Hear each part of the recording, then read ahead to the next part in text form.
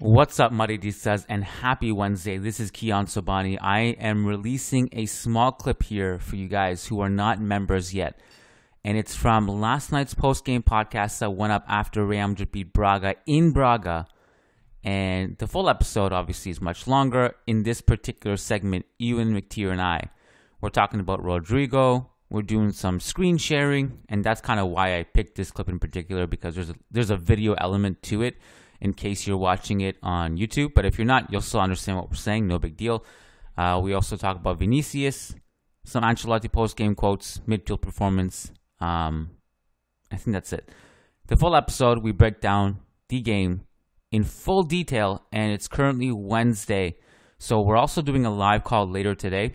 If you're a member, you get to join our live call every single week. Turn on your camera, turn on your microphone, ask us questions, have conversations with us about football or anything you want. And it's obviously very Real Madrid focused, and we dig into the weeds and details. And it's really fun having those conversations with you guys. So look forward to that live chat today.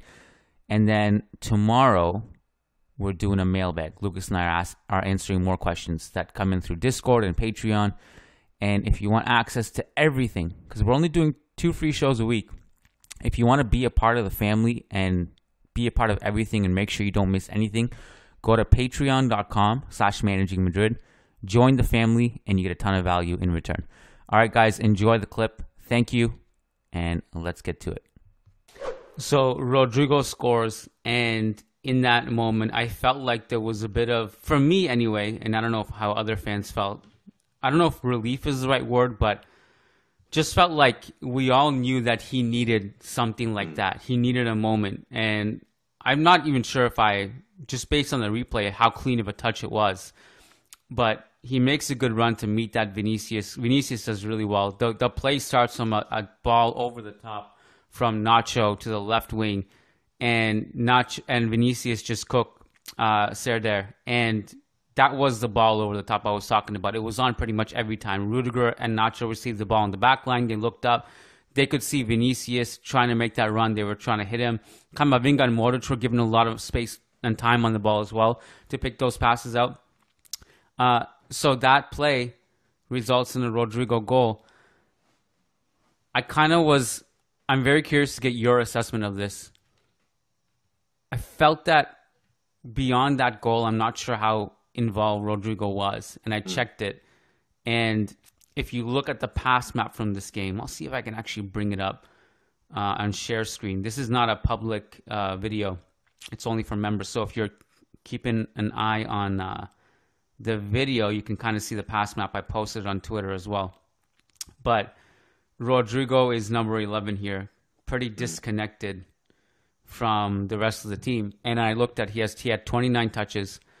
This was very similar to the Napoli game in that he wasn't really involved as the other side, which is the left side where everything goes through. Uh, and I was curious to know what your thoughts on Rodrygo was. It can be about this game, it can be overarching points or whatever. What do you think?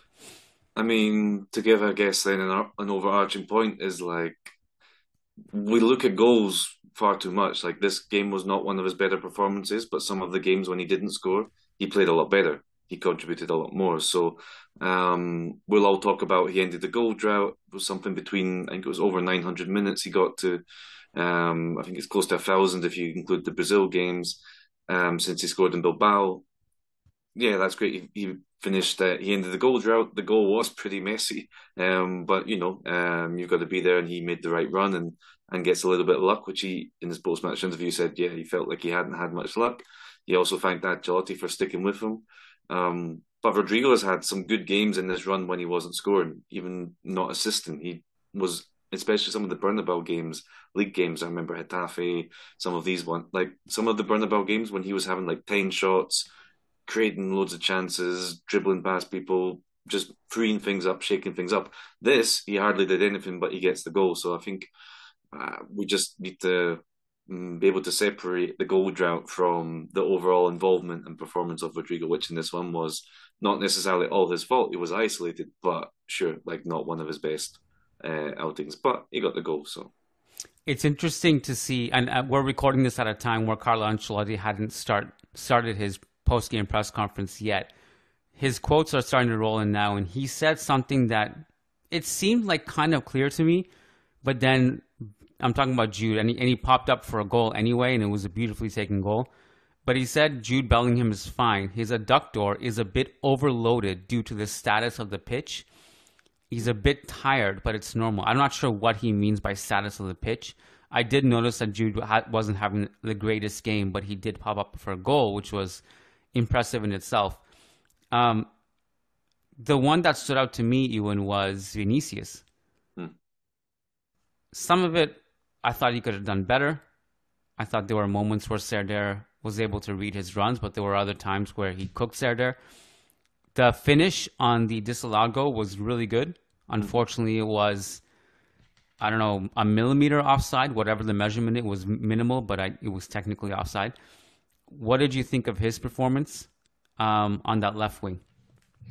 I mean, like I think this was a good Vinicius performance. If you look at the highlight reel of Vinicius after the game, there'll be quite a lot of good stuff. But I still think he could have done more because that ball over the top was happening like the whole game. Even the offside was basically the same thing again. Braga never corrected it, never put any more support on that side. And it was just textbook. It was like school football, you know, like we have a fast player against a much slower fullback. We can just exploit that time and time again. And when you look at the number of balls over the top or into space, not just the kind of ones that, you know, Nacho or Fran Garcia were playing, um, from the back, but even some of the Bellingham passes to Vinicius in good space. Um, he, you know, obviously scores, assists, but like what scores the offside goal, assists the the others. Um, but you still think there was other opportunities there where um, just a little bit rusty, and um, I still don't think he's hundred percent after the injury. But this was certainly a lot of good moments. But um, if you if you do a fraction percentage of the number of times when it was on, um, you know, he he made the most of it sometimes, but he left some, I think, some opportunities out there too from from some of the times he had all that space. Yeah, I thought given the high volume of opportunities he got in that zone, he he could have done more than he did. Um, he ends up with a disallowed goal and an and um, and two assists. It's pretty pretty solid stat line for a, a, player who could have done more, but um, he did stand out in the sense that he was very active. He was not shy trying to take players on. I mean, he never is, but I thought he was mostly positive and was ultimately quite productive, but he could have done a little bit more possibly. Um, yeah, I just on like a pure on ball perspective, I really like the performance of, of our midfielders. Camavinga, his distribution was great. He was first to every 50 50 ball challenges in the box, just outside the box in zone 14, um, were phenomenal. His touches under pressure were great. Modric, low key, had seven key passes tonight, and his passing was foot perfect. Fede Valverde, not as involved as those two, but he had his moments, like really covering defensively in transition, but also, um, also just like had really good passing in stride in transition as well. What what notes did you have on the midfielders? I mean, so I hadn't seen exactly that pass map you put up. I'd seen a slightly um, different one with just the average positions um, at halftime. And what struck me was just the asymmetry of the midfield. Um, I yeah. think when Modric is playing, there was I think the first game Modric played this season, he was like the highest player. He was basically where Bellingham um, had been playing in the diamond. Then pretty much every other Modric game, he's been as deep as Camavinga, but isn't play. It's not quite a double pivot. Um, Modric starts a little bit further forward. He starts a bit more to the right. Um, but when you look at the average position, it's always pretty much where Camavinga is. And I think that works in again in certain games against certain teams. For example, uh, the Camavinga Modric sort of double pivot, but not quite, was also seen in Osasuna. Um, it was seen in this game. You can do that, I think, against let's put it bluntly, a lot weaker teams where you lose a bit defensively, you lose a lot defensively actually, but you can probably survive it because you're not playing Sevilla away, you're not playing the Clásico, you're not playing the Madrid derby. So, but it's interesting. I mean, it's it's so asymmetrical. It's basically Modric uh, close to Camavinga, close to Fede Valverde, leaving Bellingham just completely on his own. In these games when Modric plays, Bellingham is a, much more a left midfielder than the tip of the diamond. He's always a little bit to the left. But in Modric's games, he's basically the only left midfielder. And I think it's kind of Ancelotti saying, look, um, we only need Bellingham and Vinicius and some help from the fullback, and we can dominate the left side. Um, we will just move these other guys, Carvajal, Fede Valverde, Modric, onto the right, and we can do three guys there and leave two of top ten players in the world on the left side, and we're we're good with that. It's it's rare to see such an asymmetrical system, um, but it's one that when Modric comes in, it becomes even more asymmetrical. It's it's crazy. It's been that way for quite some time, but I feel like t- uh, this season it's more asymmetrical than it has been in mm. years past, in that we really don't have a right winger like at all. Yeah, like and and that's the thing, like if if if Rodrygo or whoever's playing there, and again, if it's not Rodrygo, it's Joselu, which is even less of a right winger. So yeah. you really just don't have that presence, and, and it puts puts a lot on Carvajal, um, who's been quite good this year anyway. But I do wonder if you're getting if you're getting that ball. Some it's been Fede quite often too. Like he makes a run in that mm-hmm. space mm-hmm. quite a bit, and that's why Modric and Camavinga are often deeper in a double pivot of sorts because Fede has to be a presence there as well. So sometimes Fede as well. But it is true. Like I feel like I feel like this year it's even more exaggerated. Whereas the third attacker, like in previous years, would give us something there at times, but this year we really haven't had a presence on the right wing specifically. Um, it's interesting, even like I feel like so many sequences this season, individuals defend well better than the collective. And what I hmm. mean by that is like you'll see breakdowns collectively, but then you'll see Nacho who like had a lot of vital clearances tonight. Um, yeah. I think he had the most of anyone on the field. Let, let me check. Um,